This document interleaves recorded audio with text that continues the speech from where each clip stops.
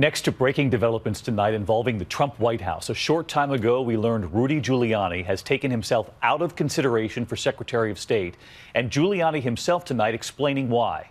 Also this evening, the Trump team responding to word the president elect will continue in his producing role on the reality show Celebrity Apprentice, offering their reason why. Here's ABC's Tom Llamas.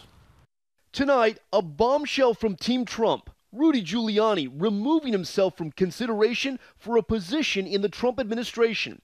I saw that he had so many good candidates available. I mean, there was no reason to complicate his life any longer. At one point, Giuliani was on the short list for Secretary of State, even campaigning for the position. But as Trump's list of potential candidates expands with Mitt Romney and that publicized dinner, and now ExxonMobil CEO Rex Tillerson in the mix, Giuliani's stock dropped.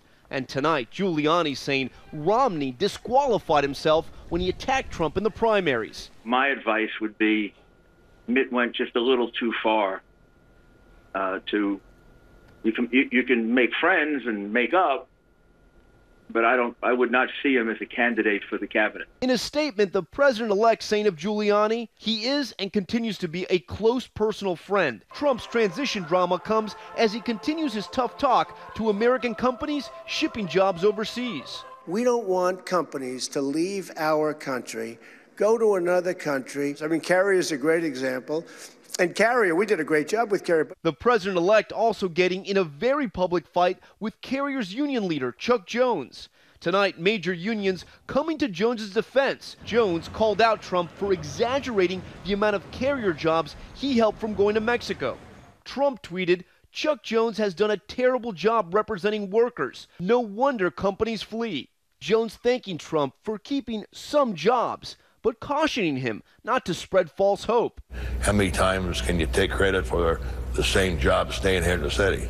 Trump also dealing with new questions about his continued role as an executive producer of Celebrity Apprentice. You're fired. You're fired. You're fired. Today, Trump's team defending the decision to work in show business while handling the nation's business. I mean, presidents have a right to do things uh, in their in their spare time or their leisure time. This as Trump continues his apprentice-like auditions for his cabinet, filling it with millionaires and billionaires. Why can't they have people of modest means? Because I want people that made a fortune. Trump's most recent millionaire to join the team, fast food executive Andy Puzder. The transition team calls him a proven job creator. Puzder, a vocal opponent of substantially raising the minimum wage, has talked up replacing human workers with robots. Puzder quoted as saying, They're always polite, they always upsell, they never take a vacation.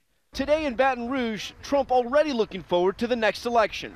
That's right, I don't need your vote. Can you imagine that? Four years I'll need your vote.